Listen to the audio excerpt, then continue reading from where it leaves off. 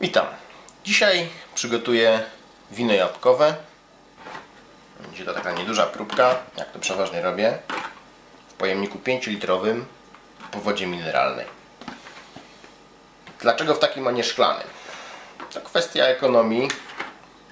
Jest tańszy. Taka woda może kosztować nawet 3 zł.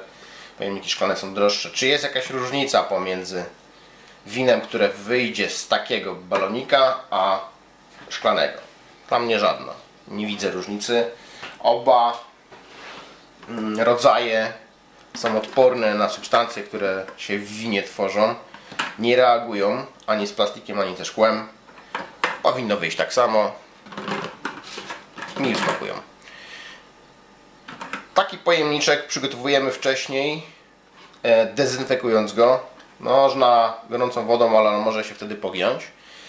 E, dlatego używam do tego standardowego pirosiarczanu potasu. Rozpuszcza się go w wodzie mniej więcej w 2 litrach taką torebkę.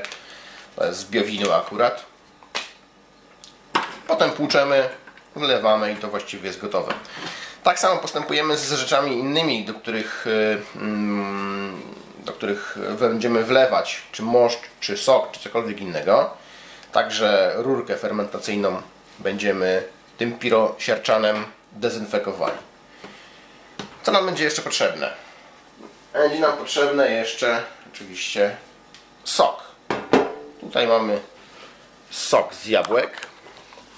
Jest świeżo wyciśnięty przez sokowirówkę. Ja akurat wygrzebałem z piwnicy sokowirówkę mającą może 35 lat mniej więcej, ale ciągle działa, polskiej produkcji. Fajnych zakładów Predom, które niestety zostały zniszczone.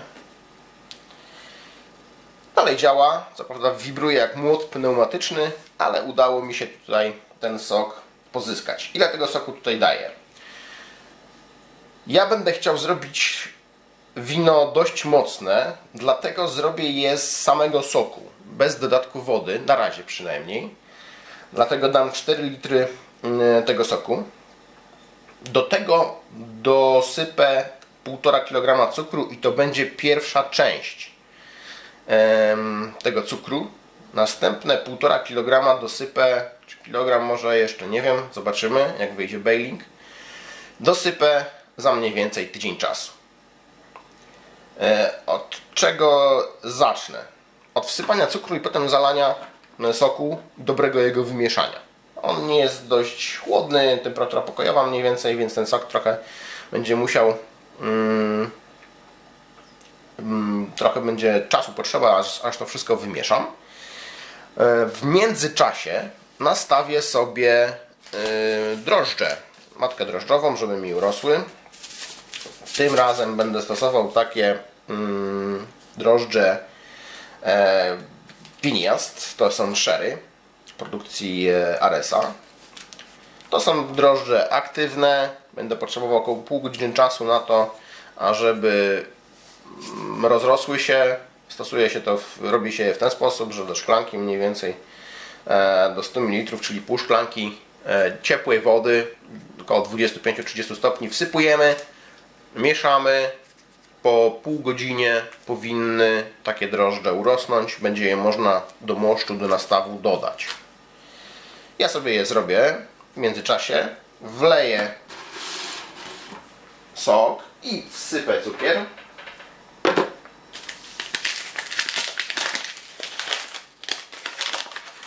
A potem zrobię sobie drożdże.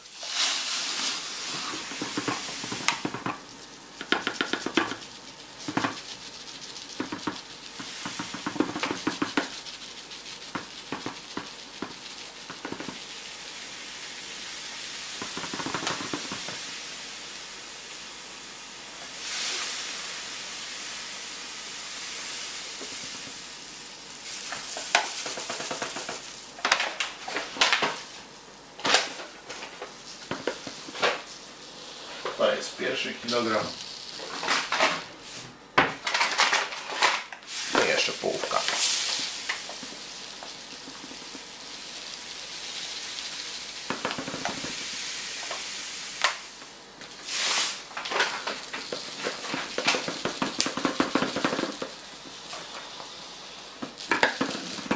Wsypałem cukier, wleję teraz sok.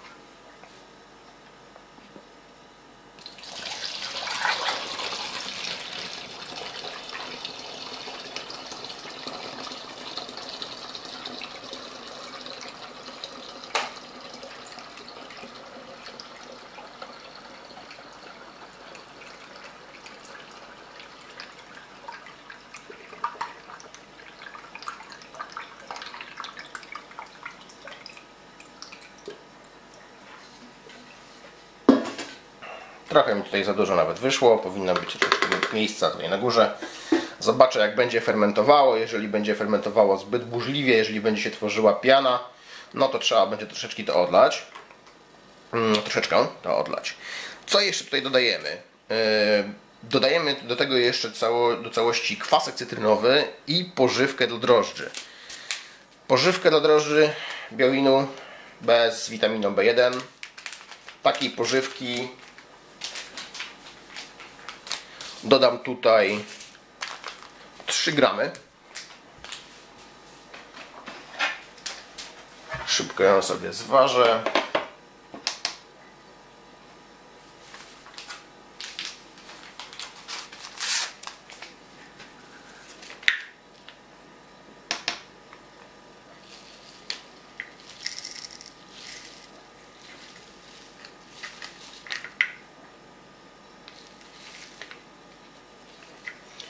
Jest mniej więcej tyle. 3 gramy pożywki i dodam tutaj jeszcze 8 gramów kwasku cytrynowego. Zwykły kwasek cytrynowy spożywczy. W każdym sklepie można go kupić.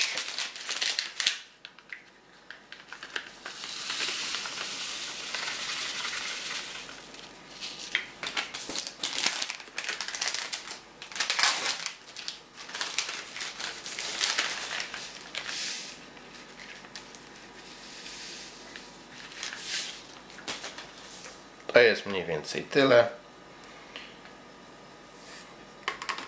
Całość będę mógł sobie teraz ładnie zakręcić i wymieszać.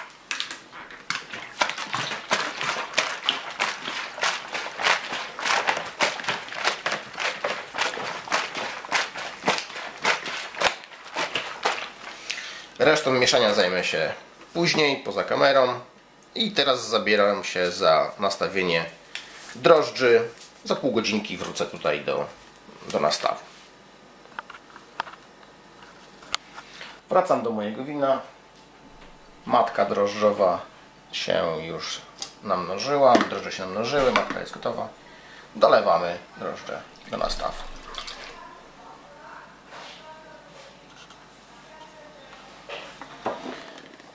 Wszystko razem mieszamy, żeby drożdże się wymieszały razem z resztą nastawu, z moszczem. No i teraz trzeba przygotować rurkę fermentacyjną, co jest banalnym przedsięwzięciem, jeżeli chodzi o jeżeli chodzi o takie plastikowe zestawy. Mianowicie robimy sobie tutaj trochę mały otwór. O. Jakimś nożem. Nie musi być specjalnie okrągły. Ważne żeby zmieścił się tutaj, zmieściła się tutaj rurka fermentacyjna. Przekładamy. O. Tak to wygląda. A uszczelnienie wykonuję za pomocą kawałka plasteliny. Najprostszy, najszybszy sposób. Pewny, to faktycznie jest szczelne. Działa w każdym razie. I taki gotowy już korek z rurką fermentacyjną umieszczamy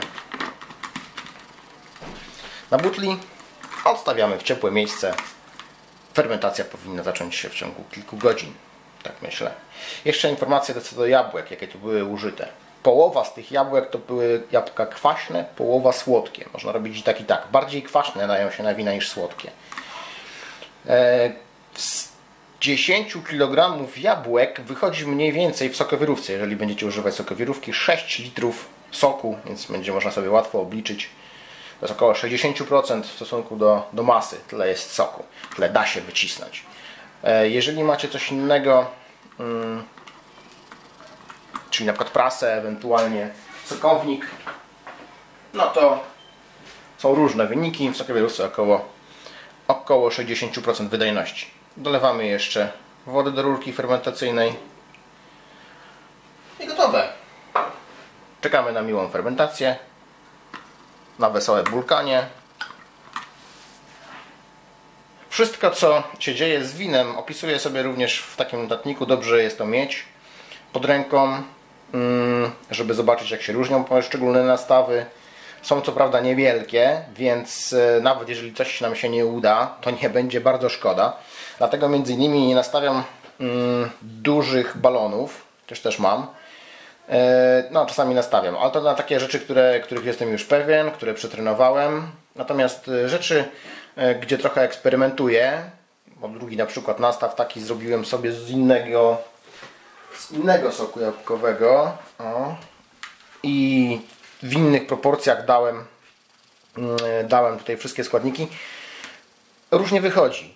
Jedno mi bardziej smakować będzie, drugie mniej i potem duży balon zrobię już z takich, w takich parametrach i z takich e, produktów, które mi najbardziej pasują, jeżeli wszystko się oczywiście uda.